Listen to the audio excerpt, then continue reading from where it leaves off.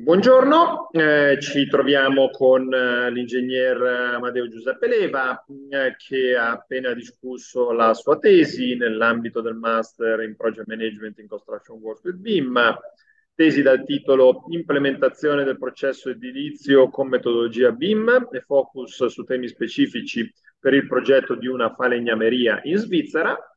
Siamo con, con Amadeo perché ci racconti qualcosa su questa sua esperienza di Master.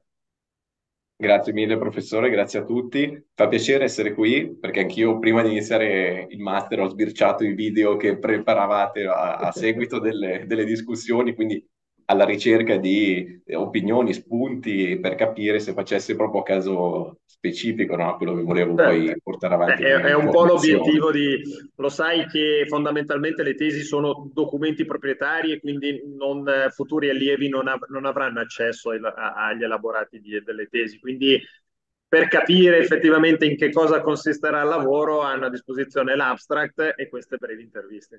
Esatto, e quindi mi interessava anche, eh, grazie per darmi la possibilità di, di portare la mia esperienza, considero appunto questo master che ho fatto sia la parte di project management che la parte di eh, BIM molto interessante proprio perché i due aspetti secondo me si sposano benissimo a livello professionale quando poi appunto si vuole portare avanti un progetto sviluppato in BIM non può mancare la parte di project management. Quindi questi due aspetti secondo me è molto corretto tenerli insieme.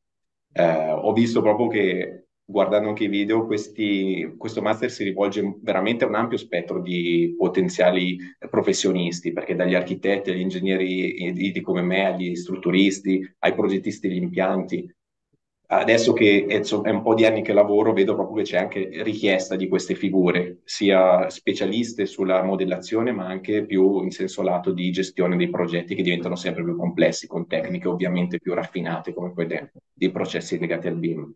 Eh... Sì, diciamo che si rivolge anche ai proget- progettisti, ma che hanno intenzione di eh, diciamo, far evolvere la, la propria carriera professionale da un punto di vista anche gestionale, cioè eh, eh, non, non, è un master eh, rivolto al progettista puro, insomma, la modellazione si vede, ma ha una parte, diciamo, abbastanza abbastanza contenuta, insomma, eh, il titolo stesso del master parla abbastanza chiaro, insomma, si parla di project management, di BIM management, insomma, quindi è l'aspetto gestionale che la fa, eh, diciamo, da, dalla parte più importante. Sì, anche se ovviamente, come è giusto che sia, si dedicano anche diverse ore, molte ore alla, allo studio di software nuovi. Sì, sì, certo, gli certo. strumenti che ti permettono, che permettono poi di lavorare attraverso queste tecnologie. Infatti, proprio per la mole di ore che bisogna impiegare, eh, per un lavoratore diventa importante capire come vuole strutturare questo percorso. Per me, io ho lavorato al 100% durante il master ed è stato ovviamente molto, molto impegnativo se l'avesse potuto fare da, o dopo essere stato studente, magari dopo una breve esperienza lavorativa, potendomi prendere un anno sabbatico per fare il master, sarebbe stato secondo me l'ideale perché uno riusciva a sviluppare, entrare nel dettaglio di ogni singola tematica, di eh, guardare bene tutti i software. Se uno lo fa da lavoratore lo può fare, però deve... Io ad esempio ho iniziato a prendere i venerdì liberi, alla fine dovevo chiaramente seguire le lezioni sì, sì, sì, sì, ma infatti noi vi, vi, vi, lasciamo fondamentalmente liberi di organizzarvi mm-hmm. come volete, eh? non, non, lo sai benissimo, non controlliamo gli eccessi della piattaforma, non vi richiediamo una percentuale minima di lezione, quindi eh, conosciamo le, le, le, i vostri grandi impegni che avete e quindi cerchiamo di venire il più incontro possibile. È chiaro che se uno vuole sfruttare al 100% quello che il master mette a disposizione, eh, le ore di lezione sono tante, quindi per è forza stato, devi dedicare tanto piacere, tempo. Ma è stato un piacere dedicare il tempo necessario perché erano tutte, tutte tematiche veramente interessanti, quindi ci è voluto.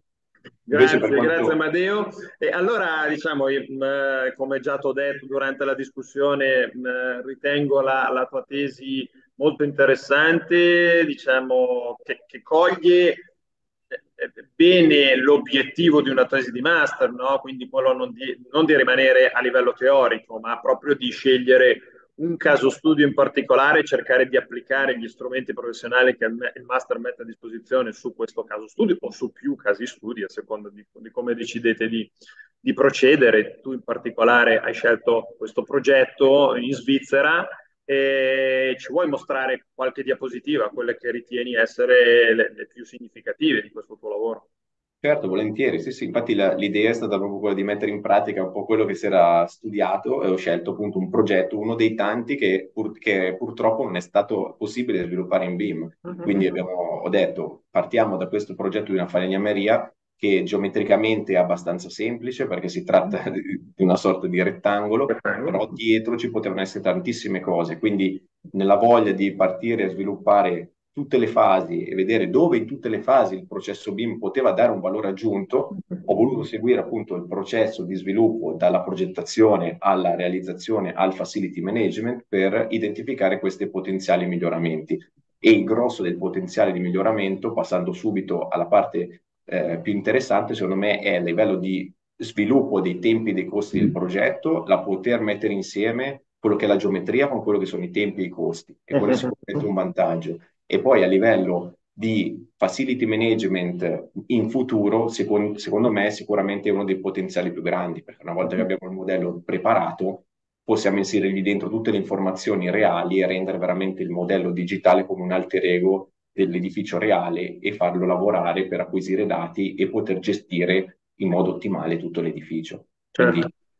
questi aspetti usati secondo me molto interessanti e sicuramente li porteremo avanti anche a livello di ufficio per proporli al cliente specifico. Benissimo. Sì, poi soprattutto in una realizzazione del genere, è vero, da- semplice dal punto di vista geometrico, ma, ma a- almeno immagino, non sono esperto di falegnameria, ci mancherebbe altro, ma dal punto di vista, diciamo, impiantistico e quindi di facility management, tutt'altro che facile, insomma, cioè eh, ha le Vale sue sicuramente la complessità. pena, sì, vale sicuramente la pena di investire qualcosa per la gestione futura. Eh, certo, certo, certo. Va bene, eh, grazie Amadeo. Ehm, no, Grazie a ovviamente, eh, diciamo, mi auguro che gli strumenti professionali che questo master ha cercato di mettere a disposizione, sia nella parte di project management che quella di BIM, possano continuare a esserti utili nella- nella- nelle tue attività professionali future. E non vedo l'ora di applicarli anche ad altri progetti. Grazie, a Grazie presto. mille, a Ciao, ciao, ciao, ciao.